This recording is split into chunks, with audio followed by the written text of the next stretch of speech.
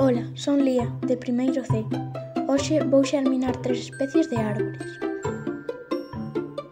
Para isto necesitamos sementes, coitelo, maceta, terra, papel aluminio e papel de cociña. Vou comenzar plantando unha noz. Primeiro vou abrila polo medio pero sen chegar a separala de todo. Despois envolvemos a noz con papel aluminio e unha servilleta húmeda. Durante uns días teremos a servilleta húmida. Pasado un tempo, as noces xa están xerminadas, polo que as plantaremos nunha maceta.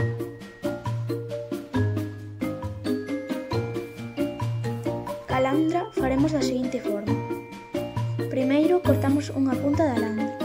Despois meterémolas en auga dous días. Pasados esos dous días envolverémolas con papel de aluminio e papel de cociña húmido. Nuns días as landras estarán xerminadas e plantarémolas en macetas. Para rematar, vou xerminar unha castaña. Primeiro meterémolas en auga toda a noite. Despois cortamos a punta. Logo plantarémolas na maceta cun papel de cociña húmido por enriba. O resultado destas xerminacións son os seguintes.